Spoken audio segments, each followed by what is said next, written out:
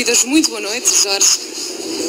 Antes de mais, muitos parabéns por esta conquista, mais uma conquista da Taça da Liga. Foi um jogo muito difícil hoje aqui com o Marítimo. Sim, eh, o Marítimo hoje eh, teve melhor no jogo do Estádio da Luz, ou seja, no jogo do Estádio da Luz estou para corrigir algumas situações que hoje apareceram muito mais agressivos e mais pressionantes, principalmente na primeira parte.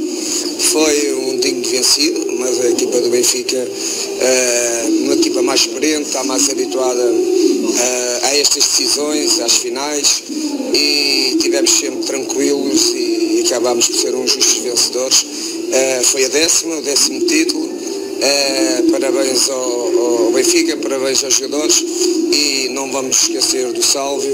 Este é como só tivesse aqui, isto é este, este troféu é dedicado também a ele e esperamos que ele possa voltar rapidamente ao pé de nós. Muito rápido, Jorge, até porque vocês estão à sua espera para festejar com este décimo troféu e de facto este recorde como treinador com mais títulos ao serviço do Benfica. É agora que vai dizer adeus aos encarnados?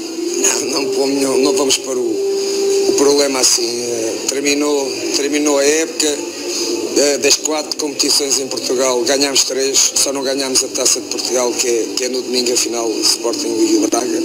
Portanto, voltamos, voltamos a, a ganhar uh, três títulos em quatro, ano passado ganhámos quatro em quatro. Uh, e os jogadores do Benfica estão, estão de parabéns, estão habituados e no final do campeonato, que é hoje, mas ainda temos muito tempo para decidir. Muito obrigada e parabéns, Jorge Jesus, o treinador do Benfica, a não querer aqui abrir o jogo quanto à sua continuidade na equipa do Benfica na próxima temporada agora.